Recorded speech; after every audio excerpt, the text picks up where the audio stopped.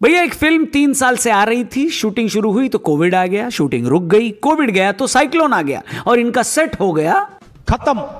Shooting फिर रुकी रो रो के पिक्चर खत्म हुई तो 2022 आ गया जहाँ मेकर्स को सही डेट नहीं मिली। पिक्चर फिर रुकी रही। मतलब चौराहे की जेबरा क्रॉसिंग पर खड़ी है वो फ़िल्म है जिसका सिग्नल ग्रीन हो ही नहीं रहा है। सरकार के सालाना बजट के सामने खड़ा ये वो आदमी है जिसकी जेब में आने वाले पाँच रुपए में से भी दो रुपया सरकार ने टैक्स का काट लिया है। मुँह में मसाला भरा ये वो बाइकिया गैंग का मेंबर है जिसके पास गाड़ी तो है लेकिन सालों से लाइसेंस का मामला अटका है।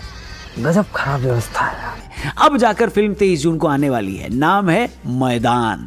टीजर हमने देख लिया है। अजय देवगन की मैदान के बारे में हम बात करेंगे। लेकिन अगर क्रिकेट के मैदान से आपको करोड़ों रुपए जीतने हैं तो ये वीडियो एंड तक ज़रूर देखना।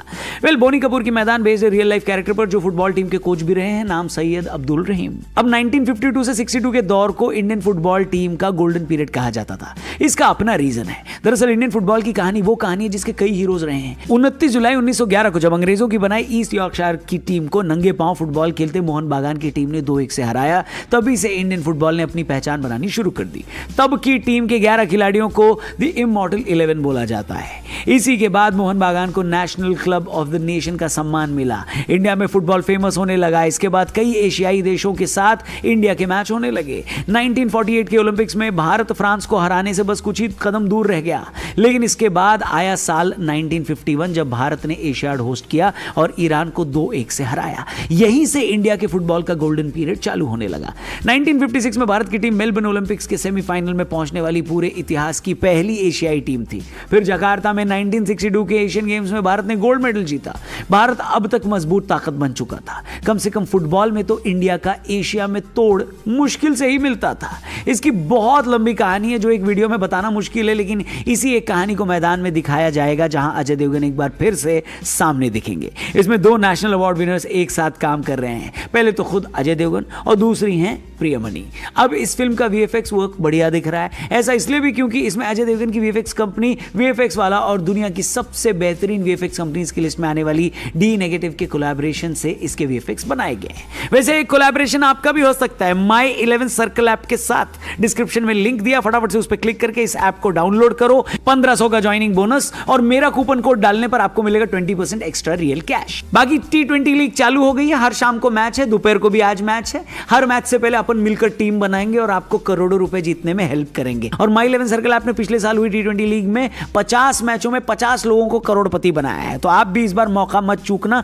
वैसे हेलो सेकंड प्राइज ये लोग एक करोड़ दे रहे हैं। सोचो सेकंड प्राइज एक करोड़ है तो फ़र्स्ट प्राइज कितना बड़ा होगा? मैं चाहता हूँ आप कुछ ना कुछ ज़रूर जीतो, लेकिन उसके लिए आपको पहले इस ऐप को डाउनलोड करना पड़ेगा। डिस्क्रिप्शन में लिंक दिया, उस पर क्लिक करके माई इलेवन सर्कल ऐप को डाउनलोड करो। वीडियो आगे देखना, आपके लिए एक इंपॉर्टेंट चीज़ और बताऊँगा। वैसे देखने से आधा है इस फ़िल्म को देखने का रीजन क्या हो सकता है? मतलब स्पोर्ट्स बायोपिक्स का सीधा सा मोटो होता है कि इमोशन जगाओ और थिएटर में पब्लिक को बुलाओ।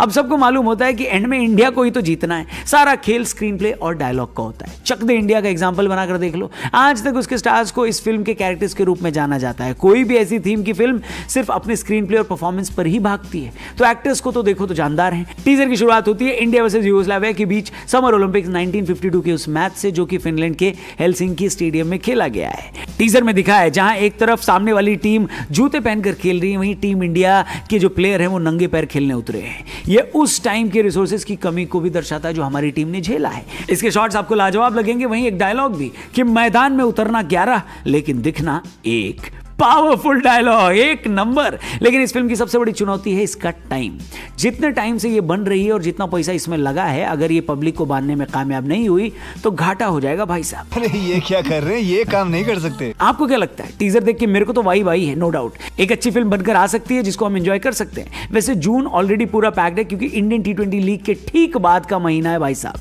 वैसे लीग से याद है डिस्क्रिप्शन में झाँक लेना माई इलेवन सर्कल ऐप का लिंक दिया है. उस पर क्लिक करके इस ऐप को डाउनलोड करो जहाँ पर सेकंड प्राइज एक करोड़ रुपए डेली आप जीत सकते हो। तो सोचो सेकंड प्राइज इतना बड़ा है तो फ़र्स्ट कितना बड़ा होगा? तो जल्दी से इस ऐप को डाउनलोड करो और हर मैच से पहले अपनी टीम बनाकर खूब सारा कैश जीतने का मौका पाओ। और याद रखना this game holds an element of financial and